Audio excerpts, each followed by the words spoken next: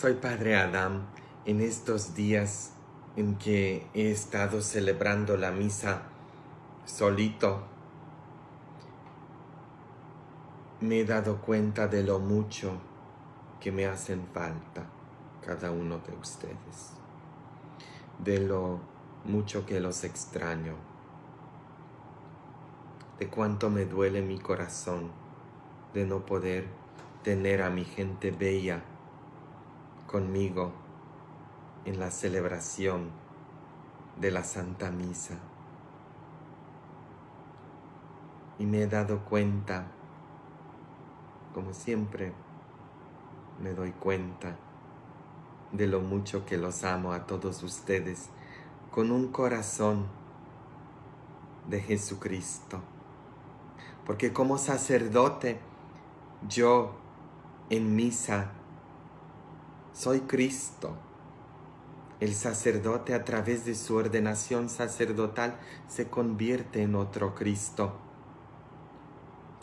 Y estoy celebrando la misa y agarro el pan que se convierte en el cuerpo de Cristo y pronuncio las palabras, tomen y coman, esto es mi cuerpo quebrado por ustedes, dijo Cristo, entregado por ustedes, quebrado por ustedes, partido por ustedes. Y me doy cuenta de que Cristo, antes de convertir el pan en su cuerpo, que somos nosotros, porque nosotros somos el cuerpo de Cristo, Él se hace nosotros no porque nosotros somos su cuerpo.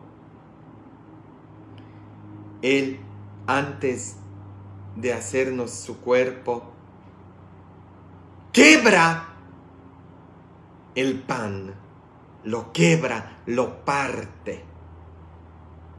Y me he dado cuenta de que en estos días estamos nosotros dándonos cuenta todos cuánto estamos quebrados.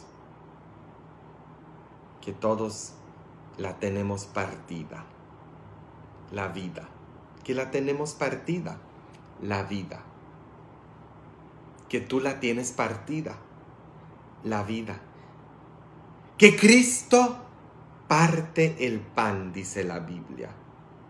En la noche en que iba a ser entregado, tomó pan en sus manos.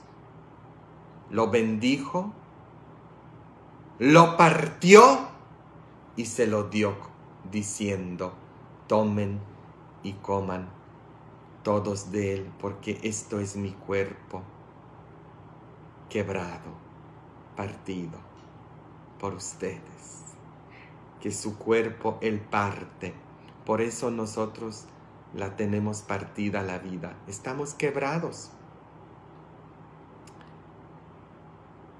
Pero también me he estado pensando que el pan, sí, cuando mi abuelita estaba horneando el pan, cuando yo estaba creciendo, se podía oler el pan en la casa, pero no se podía saborearlo a lo máximo hasta que uno le, daba la mordida.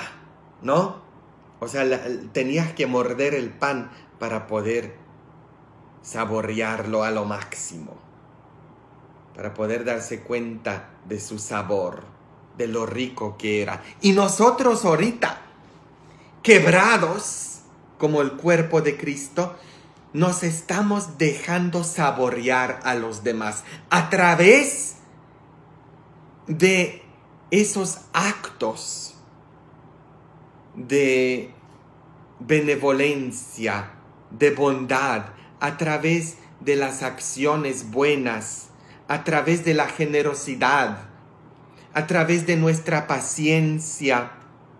Tú quebrado, no porque estás quebrado con la depresión que sientes, con la ansiedad que sientes, con todo eso del coronavirus, con tus problemas, con los sufrimientos, con tener a los chiquillos en la casa, con tener a tu esposo o esposa en la casa, con todo eso que está pasando, no todo que se te ha venido encima. Tú estás quebrado, pero a la misma vez con la paciencia, con tus buenas acciones, con tu buena actitud, con ah, la generosidad, tú estás dejándote saborear como ese cuerpo de Cristo. Con eso de que estás compartiendo tu dinero, tu tiempo,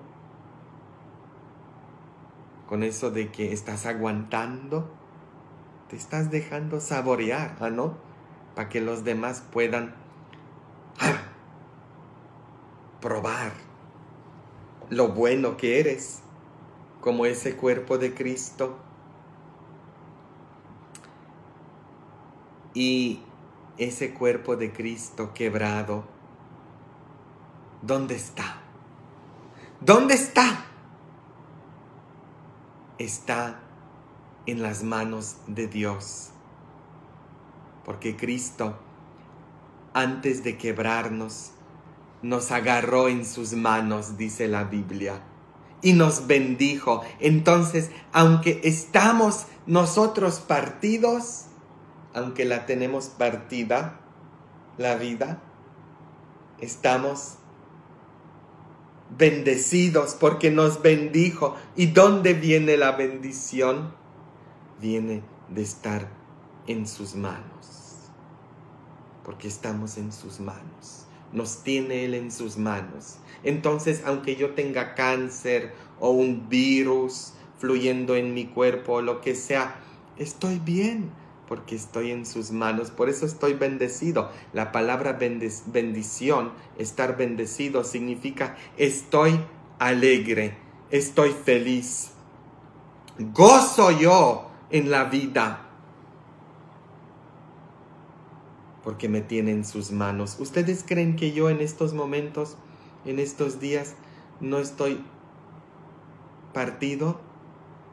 ¿Que no, no tenga yo ansiedad? Que no me está entrando la depre cuando escucho a mi madre, por ejemplo, hablando, ella que limpia casas en Chicago y, le pagan cash. Ahorita en estos días ella no está trabajando y de dónde va a agarrar el desempleo si no está registrada en ningún lado. ¿Ustedes creen que a mí no me, no me entra la depre por eso, la preocupación?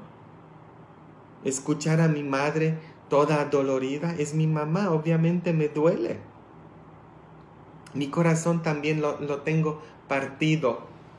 Tengo partido mi corazón por todos ustedes que trabajan como meseros y agarran cash o trabajan sin poder estar registrados en ningún lado. Yo entiendo todo eso y que a lo mejor no les va a alcanzar, que hay, hay, mucho sufrimiento en estos días. Ustedes tienen sus vidas muy duras. Yo sé eso. Por eso me duele mi corazón. Y cuando a mí me duele mi corazón, yo sé que a Cristo también le duele su corazón. Él está dolorido en estos momentos y está compartiendo el dolor con nosotros, porque ese es Dios, el Dios que celebramos, Emanuel, Dios con nosotros. Y ese Dios, antes de quebrarnos, nos bendijo y nos tiene en sus manos. Así que Dios está conmigo y Dios está contigo. Y yo sé eso. ¿Y cómo sé eso? Porque lo siento en mi corazón. Y yo sé que tú vas a estar bien. Yo sé eso. ¿Y sabes cómo sé eso? Porque estás amado. Porque Dios te ama. ¿Y sabes cómo sé que Dios te ama? Porque yo te amo. Y cuando yo sienta ese amor por ti, es Dios mismo, a través de mi corazón sacerdotal, que te está diciendo esto y dejando saber eso, que te ama, que te tiene en sus manos y que aunque estás quebrado, todo va a estar bien, porque Él no te va a soltar, Diosito no nos va a soltar. Mi mamá está bien, aunque no, mis pensamientos negativos humanos me, me llenan de ansiedad.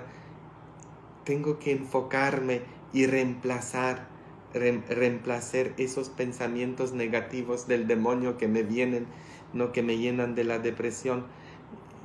Tengo que reemplazar esos pensamientos con el pensamiento de la fe, que igual que Diosito me tiene a mí en sus manos, tiene a mi madre en sus manos. Ella va a estar bien, yo voy a estar bien, tú vas a estar bien. Y hoy en día les mando mi bendición de nuevo en el nombre del Padre y del Hijo y del Espíritu Santo. Amén. Sean bendecidos. Les mando amor también